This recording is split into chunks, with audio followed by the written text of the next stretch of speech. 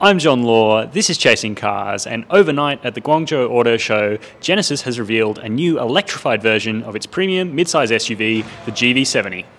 Called the electrified GV70, the new electric GV70 is going to sit at the top of the regular GV70 range when it arrives in Australia in the middle, or in the first half rather, of 2022. So that's pretty exciting. It's going to sit along all the combustion engine options as well as the sort of flagship in the range. But what are the key numbers? Well, Genesis claims between 400 to 500 kilometers of range from a 75 kilowatt hour battery, at least we think it's going to be about that big. It doesn't use the E-GMP platform that Genesis is using for its EVs, such as the GV60, and Hyundai is using for the Ioniq 5. Instead, it uses a modified version of the Genesis GV70 platform. So let's talk about what that means for this vehicle. First off, where it's going to sit in the Australian lineup. Well, it's going to sit above the rest of the combustion engine vehicles because it offers plenty of grunt. There's a 158 kilowatt 2.2 litre turbo diesel sold here. There's also a 2.5 litre turbo petrol with 224 kilowatts, and then the GV70 range is currently headlined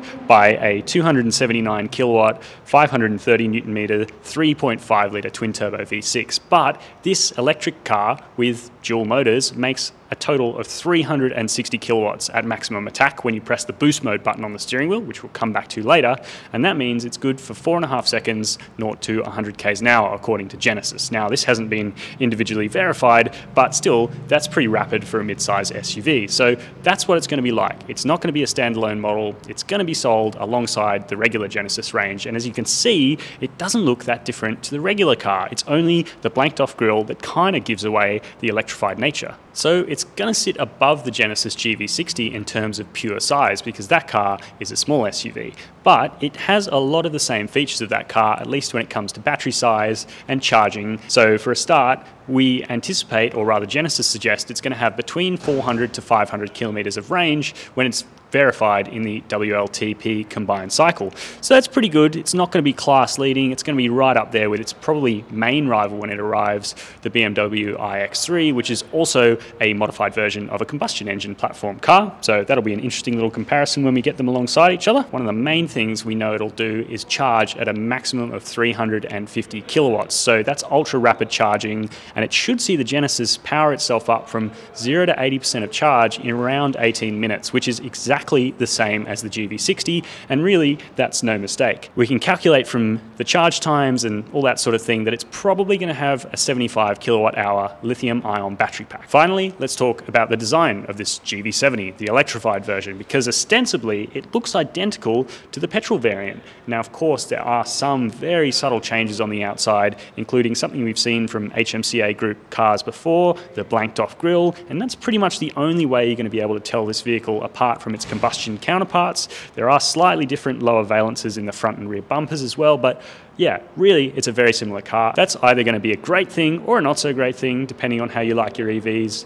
You can let me know in the comments section down below whether you prefer this kind of subtle electric treatment or you prefer something a little bit more out there, such as the Kia EV6.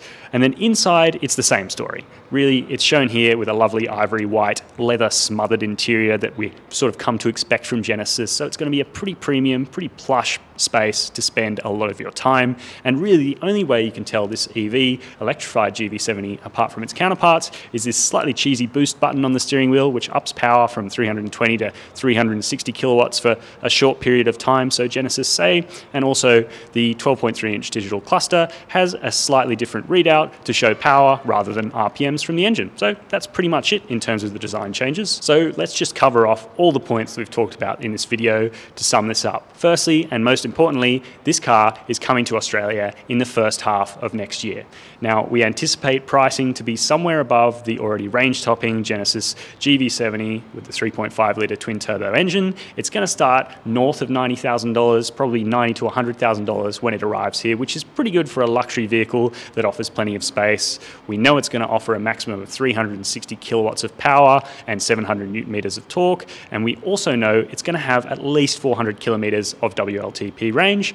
But the rest of the specification is still yet to be locked in, including final pricing and exactly what form it will take, whether it will be only available in upper model variants or whether you'll be able to get the electric variant across the range.